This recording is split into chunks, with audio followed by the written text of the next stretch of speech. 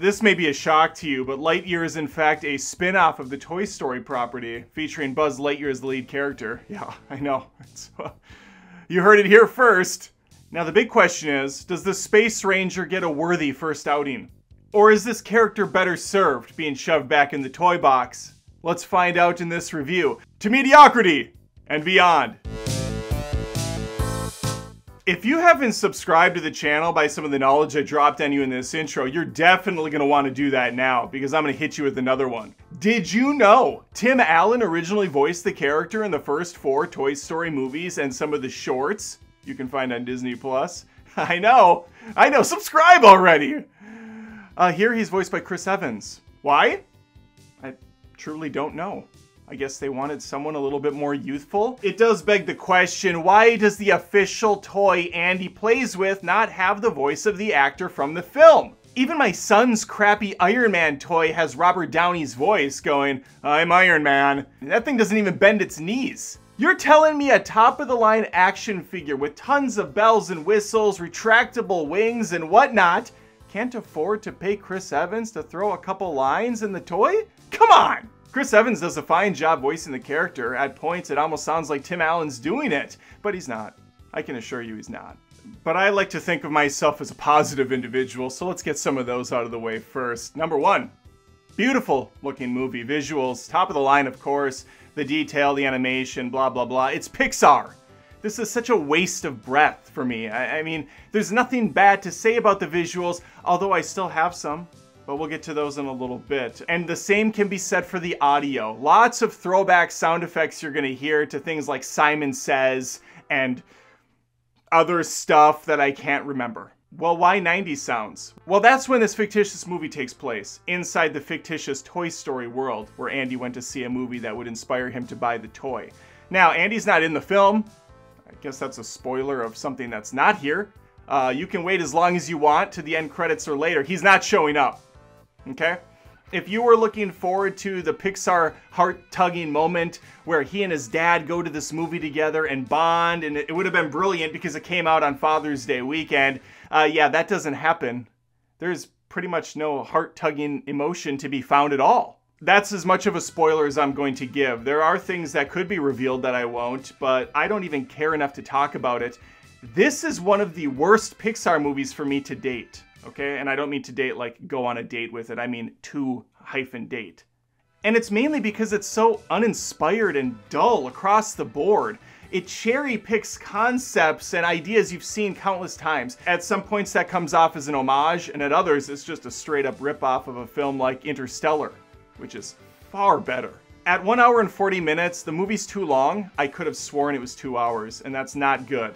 That, that's not good when a movie drags that much. The middle portion of this film is such a slog. The film is actually very enjoyable for the first half hour. It's when the ragtag crew gets introduced that I just don't care anymore.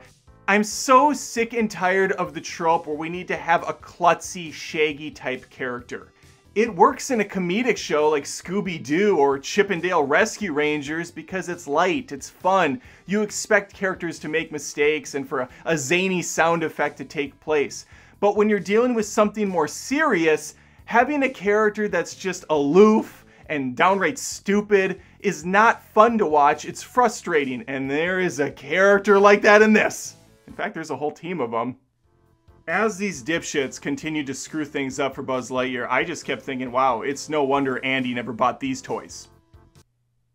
It's no wonder they weren't flying off the shelves.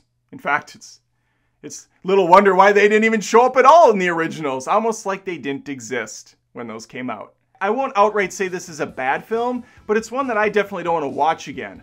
I don't like cars, and I prefer to see that over this. That's that's where I sit. This is above The Good Dinosaur, but not much in my book, and, and that's like bottom tier Pixar for me. I know some people like that film. Okay, fine whatever. If you want to take your kid to this film, there's really nothing scary. There's just kind of nothing here at all. Uh, there's a cute robotic cat that steals the show. Anytime a movie's really mediocre, it's always the cute animal that steals the show, isn't it? Captain Marvel? Now, there are going to be some concerned parents out there that are offended that there is a scene featuring two women kissing. It lasts for like half a second. It's basically a peck. Uh, that'll be enough though. And consider this your warning. They do acknowledge that they're gay. They have a child. That's that's kind of it. I feel like it's Disney checking a box. They're like, oh, we got a we got a gay character in a Pixar movie. We can move on now and pat ourselves on the back. And the film isn't any better for it. It's just kind of useless. I personally couldn't care less. What insults me in movies is when it feels like pandering or when it feels absolutely out of place. And here's where I'm to nitpick a little bit. And but it, there is a point to it. Okay, the movie came out in 95 inside of this animated Pixar film, right? Andy goes to see this when he's much younger. Uh, a, movies that came out in 1995 were far different. They absolutely did not have two gay people kissing. Okay, that just didn't happen. Now, I understand this is a fictitious world where toys can talk and come to life. So maybe in that world things are more inclusive. And that's fine. Um, but I didn't see that character flying off the shelves in the Toy Story films. I didn't see a single kid picking out that black, strong female lead gay character from the toy aisle. That didn't exist. B, and this is a hang up I had with Toy Story 2, which I love. Andy's watching a movie that came out in 1995 that has far better special effects and technology than was comprehensible then. In Toy Story 2, there's a video game at the beginning where Buzz Lightyear's fighting a bunch of aliens on the moon. The graphics of the video game look exactly like the graphics in the movie. So the video game the toys are playing at the time has visuals so advanced, it mimics the real world the toys are living in. That's preposterous. Had Pixar really wanted to take a chance with this film, they would have made the animation style akin to something in 1995. Yes, there are robots and some of the tech that's very old school. They're trying to give it a bit of a Star Wars vibe to it. But I was hoping there would be animation that was a little bit more herky jerky. Like maybe the aliens look like they're created with stop motion. Maybe some of the movie sets are really fake, done with CG, of course. But they can they can do that.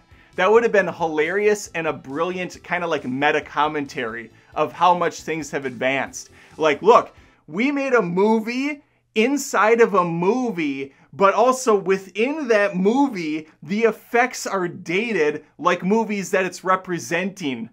I mean, man, wow, what a. It's, it's like up its own ass in meta, and I would have absolutely ate that up. But this film doesn't have anything important or profound to say. It's just coasting on mediocrity through and through. I think I touched upon the end credits in this film, and I want to let you know there are three of them, kind of. They all suck. They're absolutely not worth sticking around for. One uh, takes place a little bit towards the middle of the end credits, and then the final two are at the very, very end. I'm talking Pixar logo comes up again, and then the shot takes place. It, it's it's so not worth your time. And that's exactly what Lightyear is, not worth your time. Until it eventually shows up on Disney Plus and you have nothing better to do, or you want to keep your bratty kids entertained for an hour and 40 minutes, throw this on. All right, those are my thoughts on Lightyear. Let me know if you saw it and what you thought in the comments below. And please think about subscribing if you haven't, as I post tons of movie and TV show related content here each and every week. And I'd appreciate having you stick around. Now, if you excuse me, I have to saddle up on my horse and ride like the wind, Bullseye! I can't wait for the Woody Roundup TV show on Disney Plus that will inevitably happen. We're just creatively bankrupt all around, aren't we? See you later. Oh my gosh, wow, you still stuck around. Thank you for making it all the way to the end of the video. Since you seem to kind of like what I'm doing, maybe, possibly, you could maybe also think about becoming a Patreon at patreon.com slash adamdoesmovies. Or you can join right here and become a YouTube member via that YouTube join button. You don't just get the privilege and honor of helping a YouTube creator grow as an individual by becoming a member, but you also get access to exclusive videos. Some of them are uh, borderline amazing, uh, according to my mother, who doesn't actually watch them, but she's very supportive. Although she's not a Patreon. Probably should call her about that, see what's going on. She can afford it.